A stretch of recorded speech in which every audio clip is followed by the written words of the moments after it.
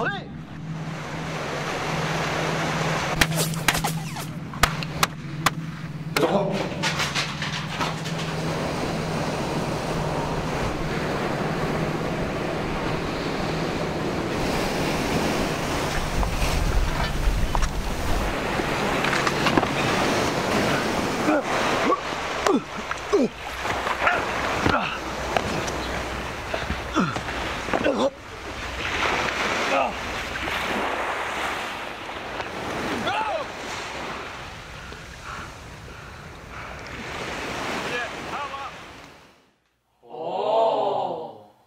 前这么神勇哦。啊，那站哨遇到水鬼怎么办呢？那也太可怕了吧！怕什么？现在马祖又没有水鬼。哎，不因为现在没有水鬼就掉以轻心哦。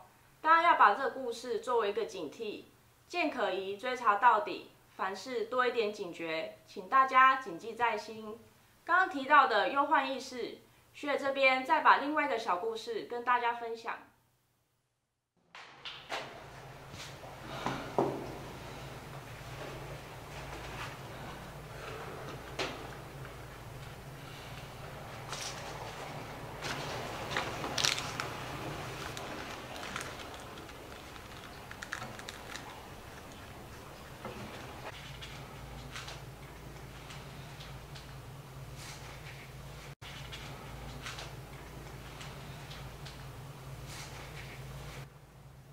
陈杰，到，到，陈杰，到，陈杰，到。不好意思。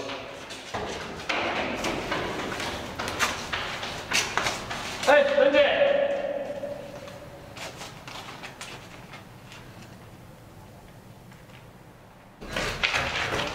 队长找我？在干嘛？叫你那么久啊？没有，我刚刚在写东西。在写什么？啊！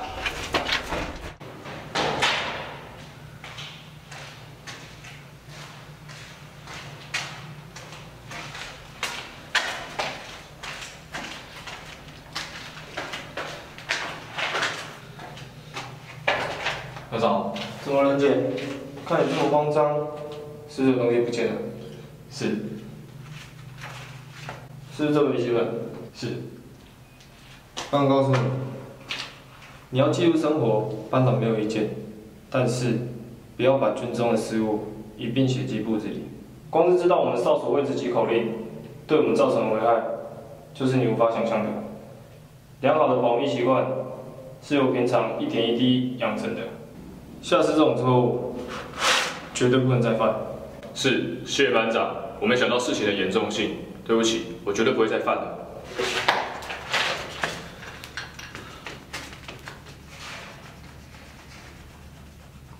常言说，一语外泄，身败名裂；以致外泄，全军覆灭。在早期，不像现在手机如此的方便，通常往来都以书信为主，但是书信中都很有可能造成机密的外泄。更何况，大家现在人手一只手机，拍照、打卡、上传如此的方便，所以身为军人的各位，保密的素养更为重要。还有年度的演习即将到来，请大家一定要把军队的事务守口如瓶，千万不要拿来当做茶余饭后的话题在讨论。了不了解？了解。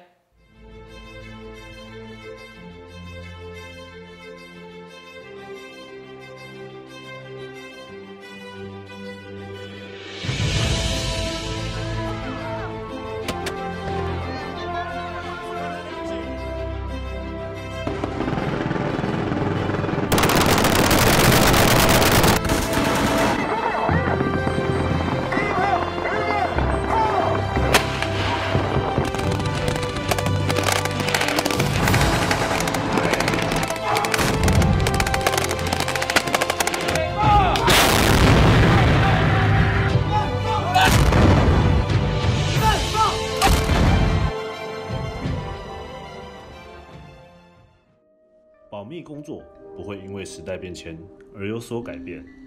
虽然两岸关系看似和谐，但敌人对我们的渗透工作却没有因此减少，手法反而更为多元。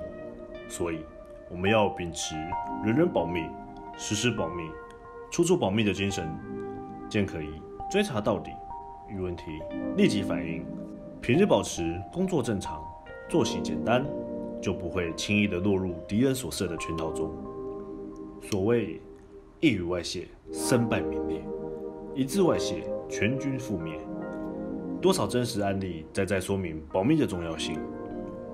天下虽安，忘战必危。保护国家安全，维护部队纯净，守护幸福家园，需要你我共同努力。